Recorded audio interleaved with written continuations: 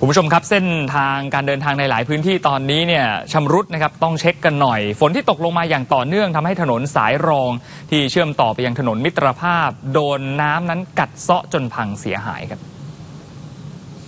นี่เป็นสภาพถนนทางหลวงสายอำเภอน้ำพองมุ่งหน้าถนนมิตรภาพนะครับที่แตกและซุดตัวลงแบบนี้ เนื่องจากฝนที่ตกลงมาอย่างหนัก มีน้ำไหลเชี่ยว กัดเซาะทำให้การสัญจรไม่สะดวกนะครับ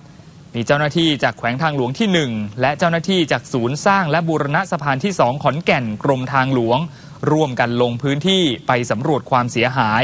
และนำสะพานชั่วคราว ขนาดความยาว 30 เมตร ไปวางไว้ในจุดที่ถนนสุด เพื่อให้ประชาชนสัญจรได้สะดวกมากขึ้น ส่วนการซ่อมแซมถนนอย่างถาวรทางเจ้าหน้าที่จะพิจารณาซ่อมในขั้นตอนต่อไป ด้านกรมชลประทานจังหวัดอุบลราชธานีประกาศเตือนภัยน้ำท่วมนะครับ ยกธงสีเหลืองแล้วนะครับ แสดงถึงขีดอันตราย พร้อมขอให้ประชาชนที่อาศัยอยู่ตามแนวแม่น้ำมูล เตรียมอพยพสิ่งของขึ้นที่สูง พร้อมทั้งขอให้ทุกคนติดตามสถานการณ์น้ำอย่างใกล้ชิดด้วยนะครับ ด้านกรมอุตุนิยมวิทยาประกาศเตือนวันพรุ่งนี้ครับทั่วไทยยังชุ่มฉ่ำมีฝนตกหนักถึง 48 จังหวัดนะครับส่วนกรุงเทพมหานครมีฝนฟ้าขนอง 70%ของพื้นที่ ขอให้เฝ้าระวังน้ำท่วมฉับพลันและน้ำป่าไหลหลากกันด้วยนะครับ